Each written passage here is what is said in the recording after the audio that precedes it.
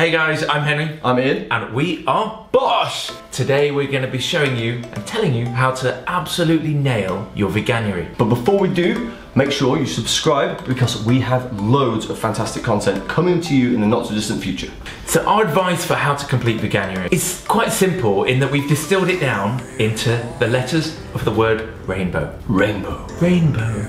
Ah. That's weird. Okay, so what does rainbow stand for? Well, R is for reason. A is for action. I is for inspiration. N is for nutrition.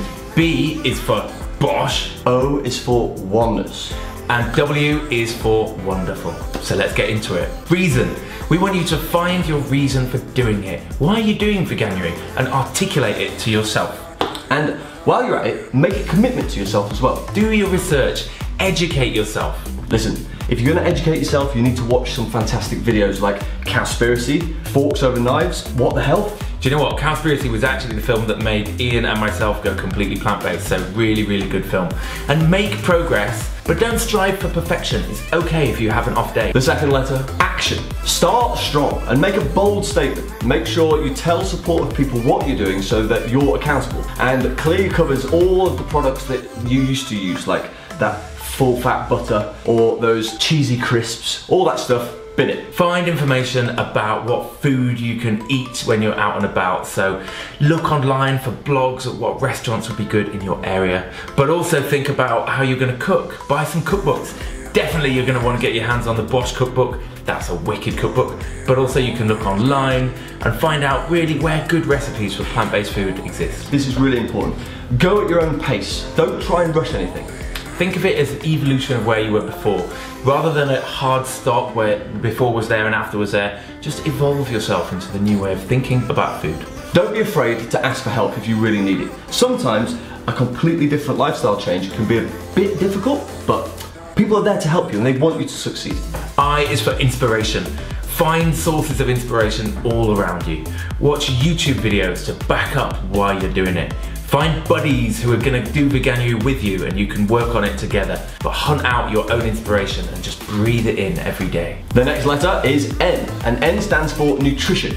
Now, if you're changing your diet, which you will be for Veganuary, you need to take responsibility and learn about nutrition. And you need to experiment with food and basically go to some new restaurants as well. Don't worry about how much protein or carbs you get in your diet. You're gonna be fine for protein. Eat the rainbow, that's the main thing. You wanna make sure you're getting loads and loads of color into your body, and that's gonna really help you to get the right nutrients. But also do some research on what nutrients you might miss out on. Yeah, see it as a challenge, see it as something fun. Find out ways to get them into your diet. And also focus on vegetables and fruits. And a really good way to focus on those two things is green smoothies. Definitely don't eat just chips and pasta and stuff like that. Not the one, is it? No. B is for BOSH. We are an amazing online resource of recipes, of cookbooks, and just of amazing inspiration for cooking. So come and find us, watch our videos, and cook our food. And a big part of the way we write recipes on BOSH is we try and help you to cook your favorite meals. So if you're lacking, you know, in like a steak and chips or some ribs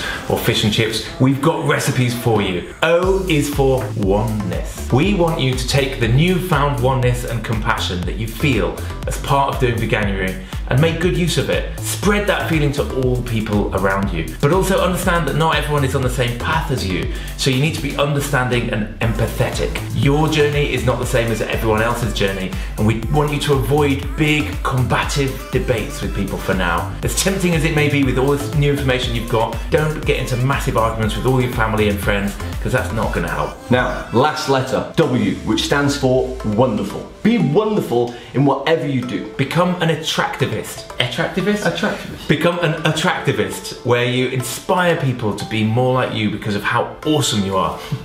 be positive and clear about what you believe in and where you're going. And drive for change. You are driving for change just by trying Veganuary, but also be good to people with different opinions than you. Lead by being and by doing.